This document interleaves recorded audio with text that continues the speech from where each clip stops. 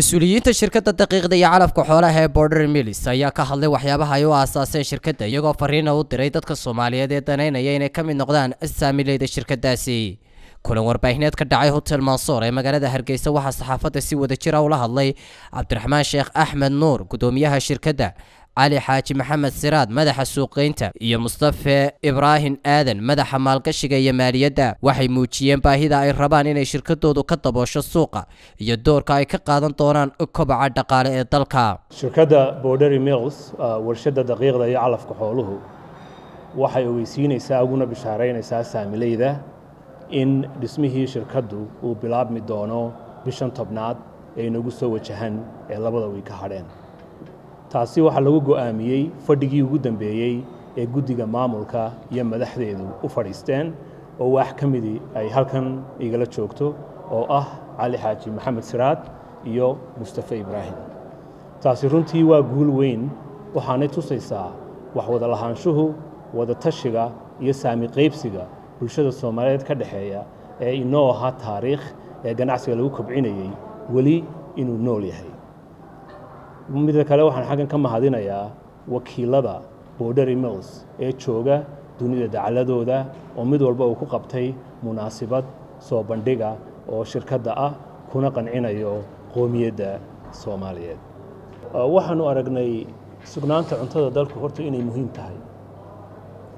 Waddamada jaarkeenna markii aan eegnay waxay leeyihiin laba boqol iyo koob iyo soddon warshadood oo daqiiq soo saara inagu mid keliya ma lihin laynagama caqli badna laynagama aqoon badna dhulka cimiladeedu waa isku wada mid. Marka maadaama xirfaddii iyo wax walba aanu hayno oo waxa keliya loo baahan yahay ay maal tahay maalkiina ummadda dhex yaallo ayaanu ku qaadnay olole ah in dadka quwaddooda la tuso lana sugi karo tayada cuntada iyo qiimo wanaagsanba.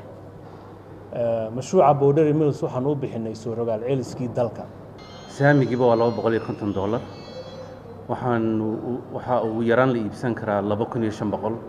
Taasina waxaanuga aanuu samaynay si muxuu ahaa qofka dee hantida badan haysta ka aan haysan iyo ka u dhexeeyaaba intuba inay u furan tahay inay ka soo qayb galaan.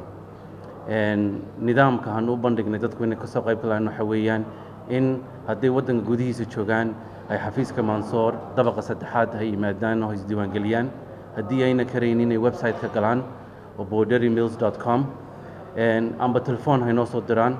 Dabadeedna toddobaad gudahood hay lacagtii soo shubaan. Dabadeedna la siiyo muxuu ahaa shahaadadii caddaynaysa inay maal shirkadda ay ku leeyihiin. Nidaamku waa sidaa markaasi shuruuduhu waxa weeyaan qofku inuu miyir qabo. Inuu siddeed iyo toban jir ka wan yahay. Hadduu ka yar yahay qof aabbiyo hooyadii soo wakiishaa inay la socdaan.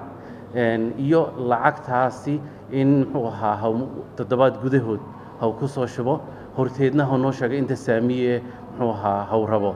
Dadka berigii hore waxaa la samayn jiray inaanu u hayno muxuu ahaa ama hanu kaydino saami. Laakiin imika waanu joojisnay maadaama dadkii ay nagu soo farabateen waxay noqonaysaa qofka ugu horreeya ugu horiibsanaya maxamed xasan daacad saab t v hargeysa